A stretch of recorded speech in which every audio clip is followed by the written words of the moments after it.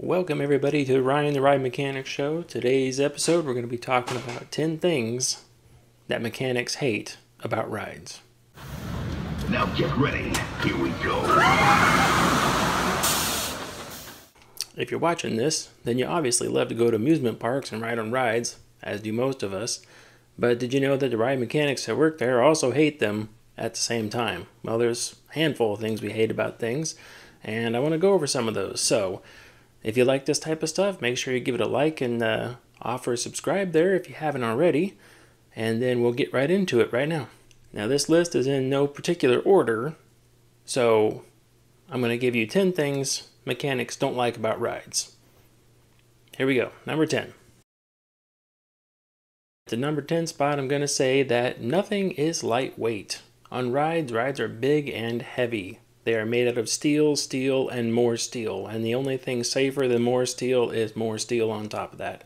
So everything is quite heavy, which means that to do the majority of things on rides, you need two people, three people, four people, maybe a special lifting jig to take something up and lift it and move it around the ride. And then when it comes to doing simple things like booster wheel replacements and stuff like that, you need a typical team of people to move things around, and that can get really annoying when it's something as simple as just replacing one component and then you're trying to schedule downtime. It's like, ah, I need three people to do that, and that is a pain. And then that just looks poorly on you because you can't get something done, but you're trying to schedule it and it takes a lot of people to do. Might take a lot of downtime, so weight is a big factor on these things. And if things were light lightweight, we'd probably do it a lot easier, but they're not. They're big and heavy. Coming at number nine, nothing's easy to fix. By that, I'm talking about ride safety systems. That's the number one thing that breaks down a ride because rides have to be safe. So the thing is that uh, manufacturers do a lot of things to make sure the ride is, is safe, and they typically do things like put redundancy in the system and sometimes one, two, three, four forms of redundancy, and then those forms of redundancy communicate and miscommunicate and then they start fighting with each other, and it makes a simple situation very complex. So they start doing things like in restraint systems when you sit down on the uh, train you close the restraint and the system says your restraint's closed. A lot of times that's done with a daisy chain, just components linked in series with each other. Very complex to troubleshoot because it doesn't necessarily tell you where the problem is, it just tells you that there's a problem. Uh, one of the rides I took care of was uh, an SLC, and the way they made sure the restraints were closed, they had a limit switch on the inside that was made when the mechanism locked. Those limit switches were times all 20 seats, and they were daisy chained from one to the other. So all we knew is that when they said that the ride wouldn't dispatch, we had an open restraint somewhere, but we didn't know where it was. And that would sometimes eat hours of troubleshooting up, especially when the problem became intermittent on the wiring harness of the ride. Number eight, rides use a lot of air pressure, and a lot of times those airlines, especially flex lines, tend to break right at the most inconvenient part of the day. Never fails. Hot summer day, the ride's running at maximum capacity, and you blow an airline out. And then you got to go up there, shut it down, figure out where the airline blew, and then go in and find replacement hosing, replacement fittings, and everything else that went along with it to make that repair. Sometimes not as easy as it sounds. Speaking of things that aren't easy as it sounds, number seven is the manufacturer used some sort of part that's not available anywhere in the US. This happens a lot. Manufacturers use exotic outside manufacturers to build things like pneumatic valves and hydraulic components, and when they fail, you need something from that manufacturer, which is a lot of times overseas. And sometimes you can't get those parts easily or quickly. Sometimes you can find the part, but the manufacturer won't sell it to you because they weren't the original equipment that you're working on. So, overseas manufacturers, hard to find parts. It's one of those things that we try to do our best to stock stuff, but sometimes you just don't have the ability to stock everything that the ride needs all the time. Number six, as you work on rides, they take on a bit of a personality and then you start to learn some of the ins and outs of them. And you know when you service certain areas of the ride that it's going to misbehave afterwards. And then that is a very cringeworthy moment because you know by doing something, it's going to cause all sorts of headaches down the road. One thing that is simple adjustments like speeds and cable tension. Those two things right there by themselves will eat up a lot of downtime, especially if you have to adjust something like the cable tension and speed on something like a boomerang. It's a nightmare. Trust me.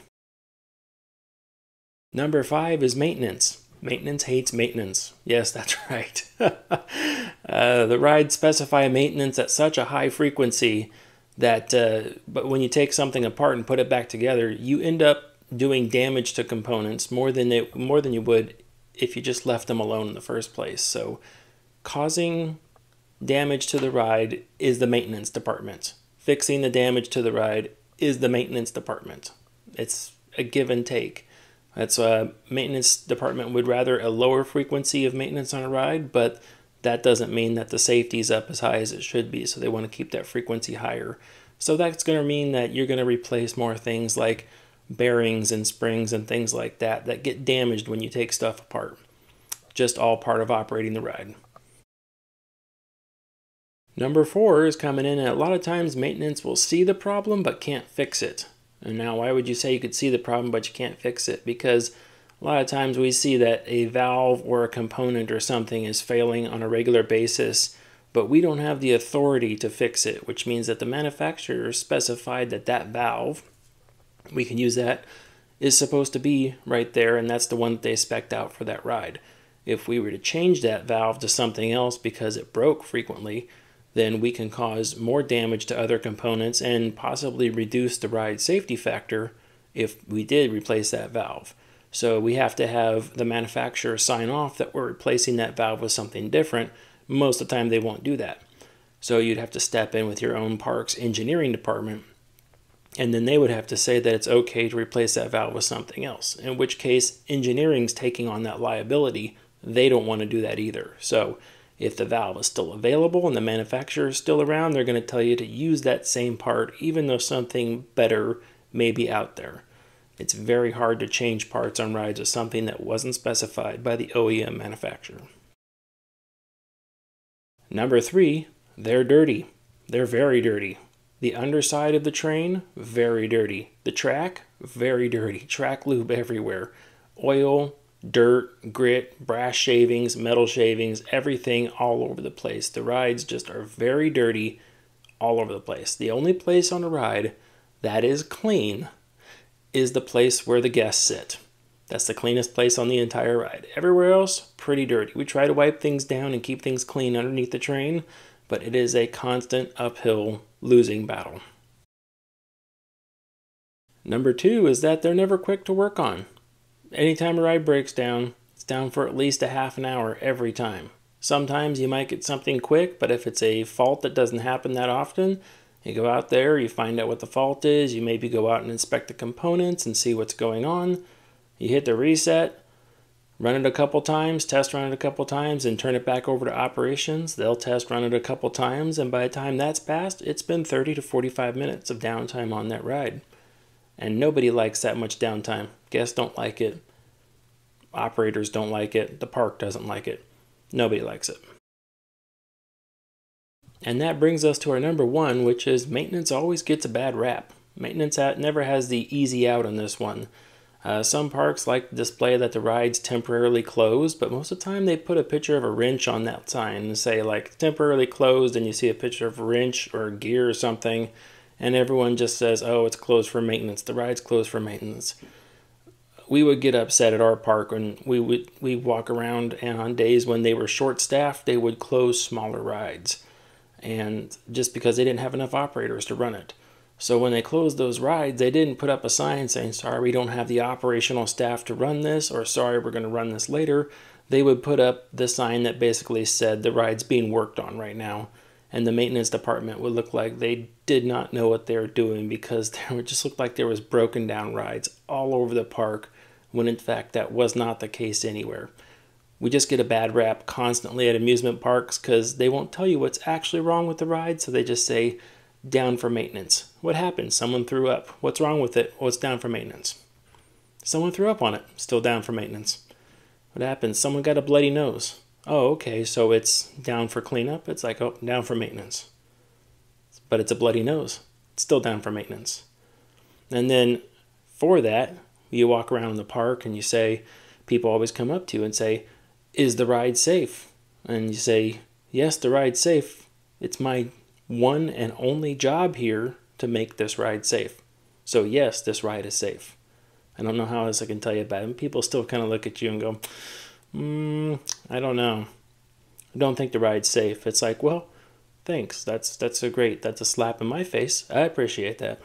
But at the end of the day, they say, hey, is the ride safe? Yes, it is. Because, you know, a lot of times I would bring my kids to the park and we go ride on all the rides out there too. That's fun.